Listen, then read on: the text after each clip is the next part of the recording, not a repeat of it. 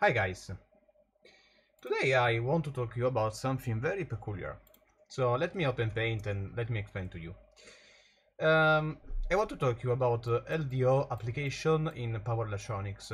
It is very strange because uh, um, LDOs are, as you can imagine, are not so used in power electronics because uh, you prefer to use SMPS, which are, for instance, the buck, the boost, and whatever you need. The buck if you need uh, to step down the voltage, so this is the input voltage and this is the output voltage, and the boost if, if this is the input voltage and that's the output voltage. So the boost has the output voltage greater than the input and the buck is the contrary. So the out less than the in. And the thing is about the, the SMPS that they contain uh, that they are not so easy to design, they are expensive sometimes, and they contain they contain noise at the switching frequency, which is around 250 kHz or even higher. LDO are instead very simple, and uh, they can't be used if you have to supply, for instance, 10 amps of current, so LDO may not be the best choice. But if you have to supply something, so let me let me um, let me write this. Let me draw this. If you have, for instance, the CAN circuitry, and uh, you know you want also isolation, the first choice can be to use a push-pull here. But uh, if you see from the design, the push-pull requires, generally speaking, the inductor here. Yes, here, the, here are the diodes, and but I don't I don't want to draw this. It requires the LC filter. This LC is quite big, so you can, if the digital circuitry does not require so much current uh, as a e-sync, you can substitute this, this LC, with an LDO. So yeah, basically at the end of the day, what you're gonna have is uh, something like this. So, as you can see in the circuit, uh, you have uh, A, which is the push-pull. And you can see this because this is the input voltage which goes into this. And then you have the center tapper transformer. These in D1 and D2 are used for the switches, which are grounded to the low side. Then here you have the rectifier made with these two diodes and the input capacitor here.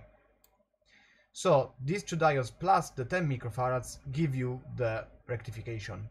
Now, since uh, the, the, since the the CAN circuitry D and the and the isolator C does not require does not require so much current, you can think to use an LDO instead.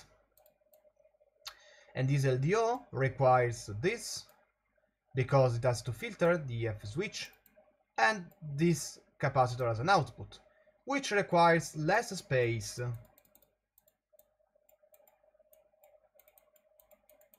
less space than the inductor L. Now, as you can see, the, so this supply goes into the CAN circuitry here, which has the CAN H and CAN L. Then you use the SM1712 712 just to protect the just to protect the can the, the can lines and basically the ISO 7721 is just an isolator. It basically takes the signal here and isolate them here. The reason the reason why you want to do this is because the microcontroller, which is here, has to receive the signal, has to receive the CAN signal, and has to transmit the CAN signal, uh, in, as you can see from the arrows. But you want isolation. And since you want isolation, since is, since these two grounds are isolated, as you can see the symbol is different. Oh my god, sorry. Uh, this is the ground. Uh, this is the, uh, the isolated ground. This is the, the black isolated ground, analog ground, and this is the GNDA not isolated and this is the GNDA isolated. So since, it, since the microcontroller is supplied from the input voltage right here and it is not isolated and you want to communicate to the other side which is isolated, you need an isolator. Now since these two circuitry, the C circuitry and the D circuitry does not require so much current, you can substitute with the LDO. Now another consideration about uh, VC about this VCC. These VCC are drivers are, are driver currents, are driver voltages, and generally speaking they must be very clean and precise. Now you may think that you have noise coming from this because here it is reaching at 250 kHz, but this LDO here has an intrinsic property called ripple rejection. The ripple rejection at the switching frequency. So now let's take an LDO on LTSpice and let's suppose that uh, in the other side uh, we will have uh, a voltage, an output voltage coming from an uh, coming from an uh, um, coming from a DC-DC converter. And let's see what happens. And now you will understand why uh, actually this solution works. So um, the first LDO which I can think of in uh, in LTSpice, a very simple one, is the LT uh, 3065. This is a very simple uh, LDO. Uh, it has a very low, it has a, a reasonable amount of current, and it is very easy also to connect. So the first thing that you want to connect here is the input voltage.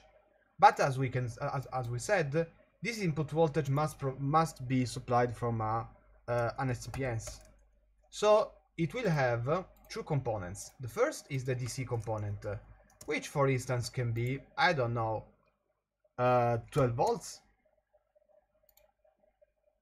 45 input voltage. So yeah, it should be enough. And then we should add the the, um, the noise coming from the DC-DC converter. So dot param d equal to 0 0.5 and dot param switching frequency of 250 kHz. We will be ex very exaggerated, uh, so we will use a very high ripple. So let's use a, a 2 volt peak to peak ripple, which is extremely high. Uh, so rise is 1 over 2 times fs because we want to we wanted to generate this this uh, triangular from here. This is the zero voltage this is 10 volt and this is the ripple across it. So we want to generate this a triangular waveform between 12 volts and 8 volts or uh, 22 volts and 8 volts is, is the same so uh, a big DC offset, but also a big ripple. The output voltage should be 5 volts with, without so much noise, and you will see that. So uh, the period on, I don't care because it's just a triangular waveform, and the period is 1 over fs. Uh, so yeah, you don't need a duty, so yeah, you don't basically need the duty cycle just 50-50. And now let's connect this to the input voltage. You probably gonna have to connect the shutdown to the input voltage as well, because when you receive the input voltage, it will turn on. The power good, according to the datasheet, must be connected to the input voltage with a, with a sense resistor, with a very high sense resistor. 50 kiloohms is enough. 300 kiloohms is enough. Now you have to set the reference and the bypass capacitor. You can take uh, whatever capacitor you want. Let just me let let just let us put a uh, I don't know 10 nano 1 micro. Uh, imax to ground so that we have the uh, maximum current available. And the adjustment uh, we will set it to have around 5 volts. So we will take the the output voltage. Let us put a load and also a capacitor capacitor of 22 microfarad and uh, a load of uh, let me just put 5 ohms this is the output voltage and this is the divider.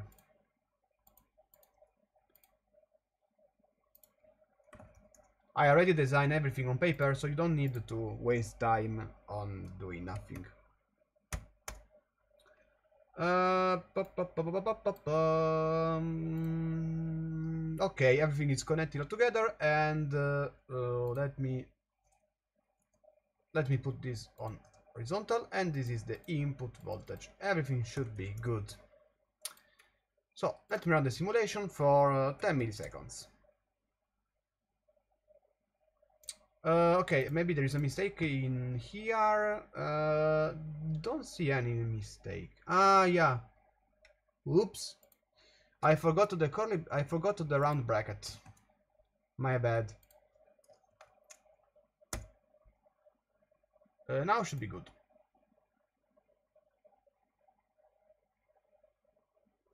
Uh, when the simulation is taking too long, it means that uh, it is uh, uh, it is iterating too much the initial solution. So you have to stop you have to stop the simulation and to skip the initial solution. Skipping it, and you have to check uh, skip initial operating point solution.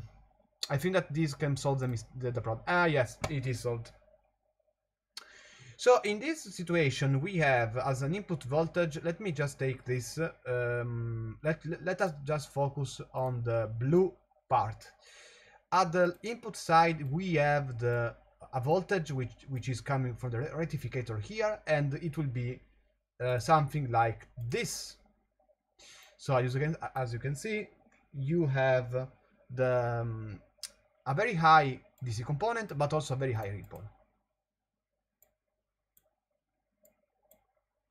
By the way, we can uh, reduce the, we can skip uh, cell to 1 million and just have uh, something way faster. This is too much.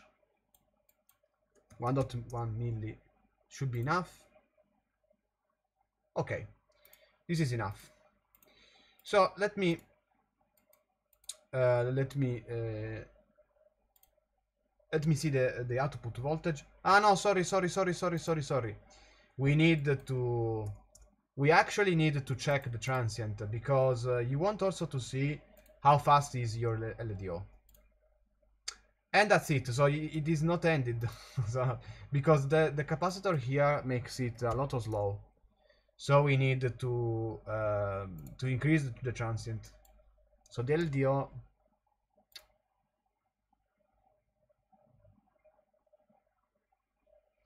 Okay, so after a bit, after after a little bit of, of transient, uh, let me put 5 milli.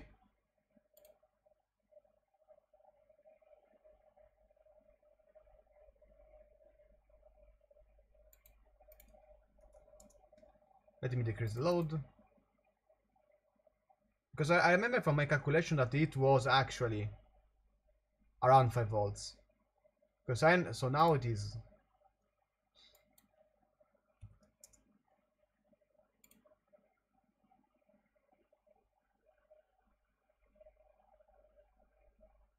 So now you clearly see what is going on here. After a, let us say, a long transient, you see that the output voltage is basically clear.